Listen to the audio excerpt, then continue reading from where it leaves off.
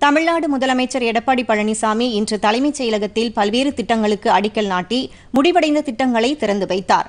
பொதுப்பணித்துறையின் கீழ் செயல்படும் நீர்வள ஆதாரத்துறை சார்பில் தேனி மற்றும் ஈரோடு மாவட்டங்களில் ஏழு கோடியே எட்டு லட்சம் ரூபாய் மதிப்பீட்டில் கட்டப்பட்டுள்ள மூன்று தடுப்பணைகள் மற்றும் ஒரு பாலம் ஆகியவற்றை முதலமைச்சர் திறந்து வைத்தார்.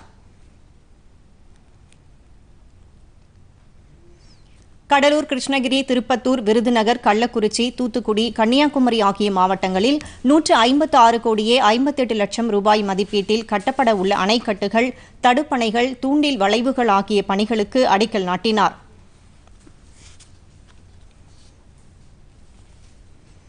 தமிழ்நாடு குடிசை பகுதி மாற்று வாரியத்தின் சார்பில் சென்னை வேலூர் திருச்சிராப்பள்ளி தஞ்சாவூர் கோயம்புத்தூர் திருப்பூர் ஈரோடு தேனி கன்னியாகுமரி திருநெல்வேலி ஆகிய மாவட்டங்களில் ஐநூற்று முப்பத்தைந்து கோடியே இருபத்தி ஏழு லட்சம் ரூபாய் மதிப்பீட்டில் கட்டப்பட்டுள்ள ஐயாயிரத்து ஐநூற்று மூன்று அடுக்குமாடி குடியிருப்புகளை திறந்து வைத்தார். செங்கல்பட்டு மாவட்டம் பையனூரில் மாண்புமிகு புரட்சித் தலைவி அம்மா படப்பிடிப்பு தளம் அமைப்பதற்கு தமிழ்நாடு அரசின் சார்பில் மூன்று கோடியே ஐம்பது லட்சம் ரூபாய்க்கான காசோலையை முதலமைச்சர் எடப்பாடி பழனிசாமி தென்னிந்திய திரைப்பட தொழிலாளர் சம்மேளனத்தின் தலைவரிடம் வழங்கினார்.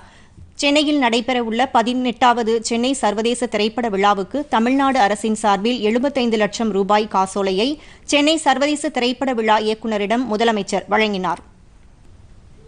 பொதிகை செய்திகளை யூடியூபில் தமிழ் நியூஸ் தூர்தர்ஷன் என்ற சேனலிலும் முகநூலில் டிடி பொதிகை நியூஸ் என்ற பக்கத்திலும் ட்விட்டரில் டிடி நியூஸ் சென்னை என்ற பக்கத்திலும் இன்ஸ்டாகிராமில் டிடி பொதிகை நியூஸ் என்ற பக்கத்திலும் காணலாம்.